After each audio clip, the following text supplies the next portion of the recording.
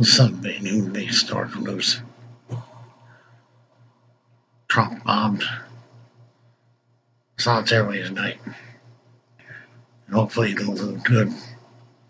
Take care of his planes for a while. Won't be launching no sarin gas against nobody. It's a shame that Russia puts up with this son of a bitch. Bashar al-Assad is a war criminal. Nothing but, nothing but, nothing other than a stinking, low-down criminal. And I don't care who likes him. He's a stinking, rotten bastard criminal. So this guy's a sick pick. This guy has butchered, murdered more fucking people than I can count. That's wrong. It's wrong. What the U.S. did tonight is right. Can't be using sarin gas against your own people. We won't allow him to use sarin gas against people. Just won't happen. I don't care if Russia likes it or not. Russia's got no business in worrying about it. I don't know what the tie is between Putin and Bashar al-Assad, unless he's just as nuts as Bashar al-Assad is. I don't know which one it is. But Bashar al-Assad is a butcher. Should not be allowed in this country. His country ruler. He cannot rule. He cannot dictate.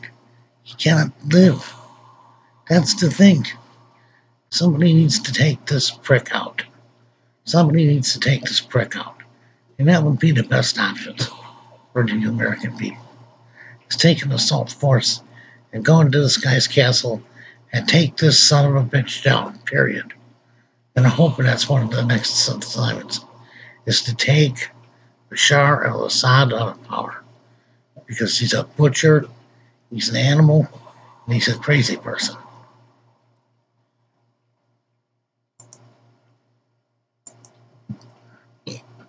It's a shame. Mr. Assad it's a sample of what you're going to get if you have any more gas. We're going to come in there and get you and rip you in half and sell you to the nearest demo, nearest, nearest meat factory. It's dead meat. A sunbeam who made Stark moves. Mr. Sun needs to be gone. Mr. Sun needs to leave. I still got a chance to get out. Sunbeam who made Stark moves. Thank you for watching.